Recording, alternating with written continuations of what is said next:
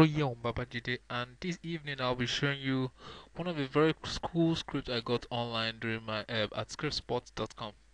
Um, during my early days of choosing which particular soft 3D software to uh, to uh, 3D software basically, um, and as much I have this have this bias for 3ds Max, but uh, one of the cool features I found out in Cinema 4D was the fact that objects such as cameras, lights, and all objects could be exported from um, Cinema 4D into After Effects, and after a while it was giving me a concern. Probably I should switch to Cinema 4D or something.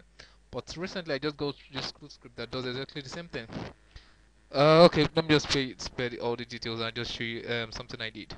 Okay, this particular um, scene has, well, nothing serious, just uh, camera revolving around a box which has been textured anyway.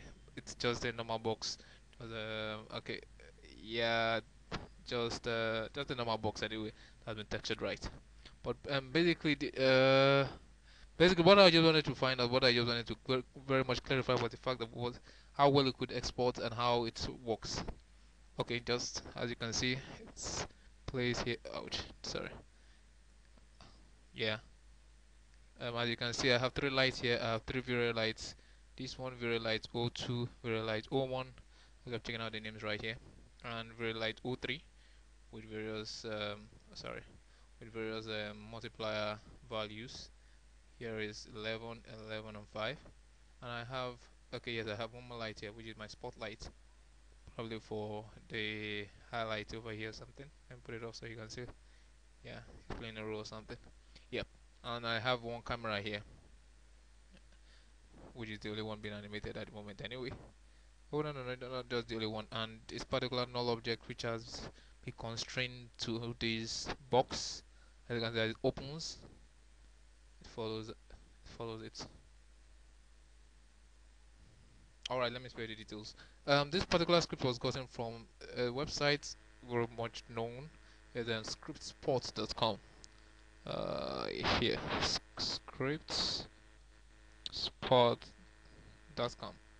you could check it out one of these days because most of the scripts over here actually from those from that site I have um, preset manager.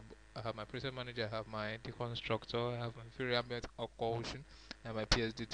Just check it out. in One of a few. Um, um, just any any other day.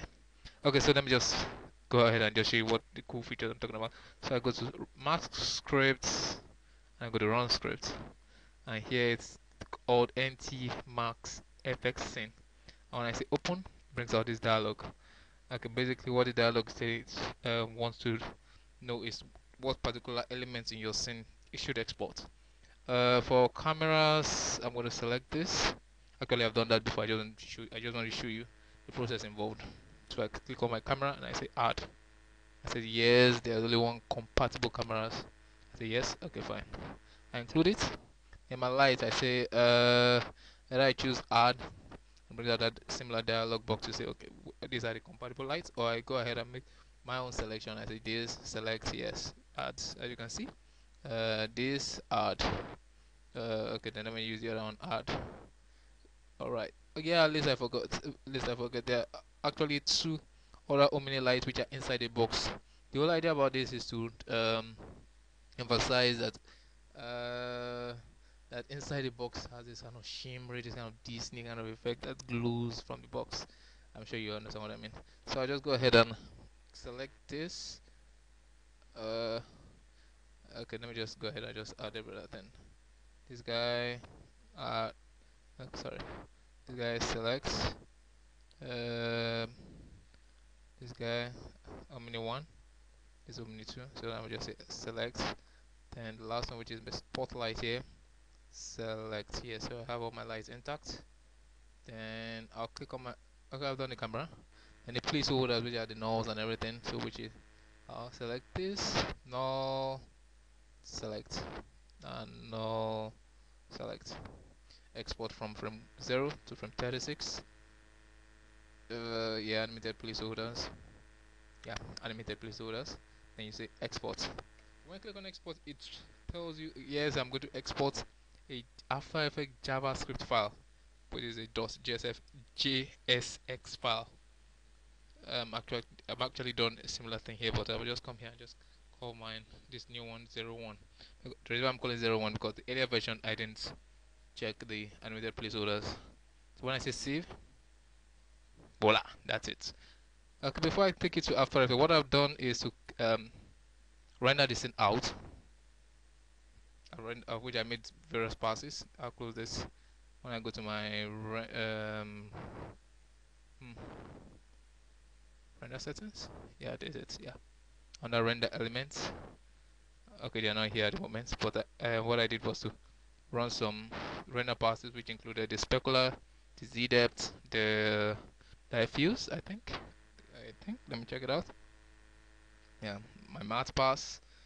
Yeah, okay, math pass I will explain. But I did my diffuse, I did my specular, I did my z depth, and I did uh, uh, NMR render pass. You understand what I mean? This is z depth pass. Uh, but this is actually the render pass. I just called it. I just named it z depth. Apparently, when I was lost or something. But anyway, uh, yeah, I wanted to say something. I've forgotten. Ooh. Yeah, my math pass. Well, my math pass. What I did was that, um, okay, in my bit to show that the uh, in my okay, yes, yeah, now I remember. It was after when I made when I've rendered my zero by from zero to 36. I was like, did I really need to put this this particular floor, this particular big floor? I could as well just demonstrated the beauty of the of this um, particular script by just putting my own floor in 3ds Max as a flat object yes and it was actually after spending like about two hours because I was using V-Ray-Render and it took so that much longer time so what I did was I didn't for me instead of me rendering the whole thing again without the flow uh, what I just did was to go for my math pass which is another very beautiful script which I got from Script Spot again. So all I did was to make a selection of